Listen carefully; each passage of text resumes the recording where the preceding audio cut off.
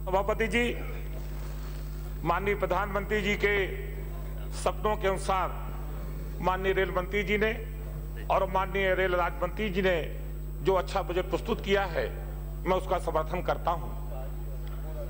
मानवर, इस बार जो सबसे बड़ा रेल बजट प्रस्तुत किया गया है, जिसमें उसके योजना परिव्यय में बावन प्रतिशत की वृद्धि की गई है और इसको बढ़ाकर एक लाख ग्यारह करोड़ रुपए का जो बजट प्रस्तुत किया गया है, वास्तव में अपने आप में एक उपलब्धि को दर्शाता है। इसमें साफ़ सफ़ाई के लिए एक अलग से विभाग बनाया गया है और उसमें 40 परसेंट की वृद्धि की गई है। यात्री सुविधाओं पर विशेष ध्यान दिया गया है और उसमें सड़सठ प्रतिशत तक की वृद्धि की गई है। इसके लिए माननीय रेल मंत्री जी बधाई के पात्र हैं। 200 और नए आदर्श स्टेशनों को जोड़ने की बात कही गई है। और जो टिकट के लिए लंबी लाइन लगती थी, उसमें पाँच मिनट के अंदर उसको जो टिकट देने का उन्होंने प्रावधान किया है, निश्चित तौर से वो बधाई के पात्र हैं। जगह जगह गंदगी फैली रहती थी स्टेशनों में, पटरियों पर। उसके लिए जैविक शौचालयों की बात कही गई है और उसकी व्यवस्था करने की बात जो उन्होंने की है, निश्चित तौर से एक बहुत ही अच्छा कदम ये उठाया गया है। उन्होंने यात्रियों की समस्या और सुरक्षा के लिए हेल्पलाइन सेवा का जो उन्होंने नंबर दिए हैं निश्चित तौर से एक बहुत ही बड़ी उपलब्ध होगी और उससे यात्रियों की सुरक्षा और उनकी समस्या के निदान में सहायता मिलेगी। मानवर, मैं उसमें कुछ सुझाव देना चाहता हूँ।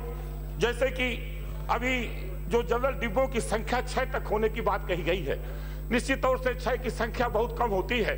जगह जगह अभी भी जो जो गाड़ियाँ प्रमुख स्टेशनों पर जाती है, उस पर लंबी लाइनें लगती हैं। तो मैं समझता हूँ कि जैसे उन्होंने पाँच मिनट में उन्होंने एक टिकट देने का नियम किया है, ऐसे ही कम से कम दस मिनट के अंदर कोई भी यात्री जाके बैठ जाए अपनी सीट पर। आरक्षित डिब्बों में ऐसी भी वो डिब्बे बढ़ाकर ऐसी व्यवस्था करने का काम करेंगे। तो यही मेरा सुझाव है।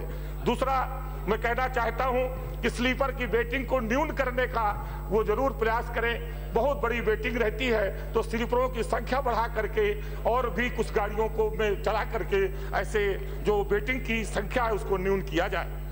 एक और उसमें बात कही गई है कि हम ठहराव कम करेंगे।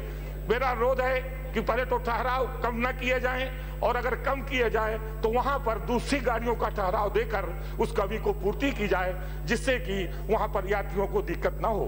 मेरे एरिया में भी बड़गर मारकुंडी, खुरहंड व भरतकूप व बदौसा आज कुछ स्टेशन है, जहाँ कुछ गाड़ियों की ठहराव की ज़रूरत है। मेरा निवेदन है कि वहाँ कुछ गाड़ियाँ रोकी जाए। मानवर झांसी मानीपुर मार्ग बहुत पुराना मार्ग है। और उसमें भी दोहरीकरण के लिए पिछली बार सौ सौ करोड़ का बजट दिया गया था। लेकिन अभी मैंने बहुत अल्टा पलटा है, लेकिन नया उसमें मुझे इस साल कुछ अलॉटमेंट नहीं दिखाई पड़ा है। मेरा निवेदन है कि उसको दोहरीकरण की बहुत ही आवश्यकता है, इसके लिए हमको नई ट्रेनें भी नहीं मिल रही हैं। तो आप उसको शीघ्र दोहरीकरण कराएँगे और आपने छियालीस हज़ार पाँच सौ का जो नई दोहरीकरण के लिए प्रावधान रखा है, उसमें केवल दो सौ अस्सी किलोमीटर है और उसमें तीन चार सांसद हम आते हैं, मानवर तो उसमें दो अस्सी, दो सौ अस्सी किलोमीटर है तो उसको ज़रूर आप दोहरीकरण कराने के लिए पूरा पैसा देंगे। ऐसे ही बादा से कानपुर है, जो 120 किलोमीटर है केवल, वो भी बहुत पुरानी लाइन है, उसको भी दोहरीकरण कराने की आप व्यवस्था इसमें कराएँगे। एक इंटरसिटी स्पेस है, मानवर जो कानपुर से वहाँ पर हमारे चितकूट से कानपुर तक जाती है, उसको लखनऊ तक बढ़ाने का कई बार आपसे अनुरोध किया गया है। मेरा अनुरोध है कि उसको कानपुर से लखनऊ तक बढ़ा देंगे, पर्याप्त समय वहाँ खड़ी रहती है और फिर वापस आती है तो उससे लोगों को सुविधा मिलेगी। मेरे चित्रकूट धाम मेरे संसदीय क्षेत्र में आता है जहाँ भगवान राम बारह वर्ष रहे थे बहुत ही महत्वपूर्ण स्टेशन है और देश का सबसे प्रमुख तीर्थ स्थल है। तो उसमें मैं आपसे निवेदन करना चाहता हूँ कि उससे निकलने वाली जो चलने वाली गाड़ियाँ हैं वहाँ से तुलसी एक्सप्रेस दुर्ग एक्सप्रेस गरीब रथ एक्सप्रेस इसके फेरे बढ़ाकर दो दिन केवल चलती है। आप मानो चार दिन कर लें तो अच्छा रहेगा मेरा आप सबसे अनुरोध है।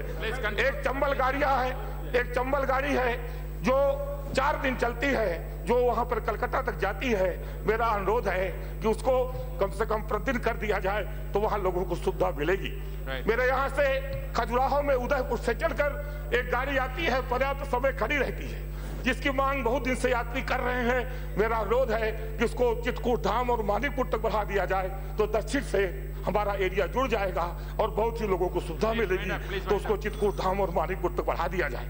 मानवर अयोध्या और चितकूट का बहुत बड़ा नाता है। आप जानते हैं एक सर्विस प्रेस आती है जो इलाहाबाद में खड़ी रहती है तो मेरा अनुरोध है उसमें पर्याप्त समय खड़ी रहती है तो उसको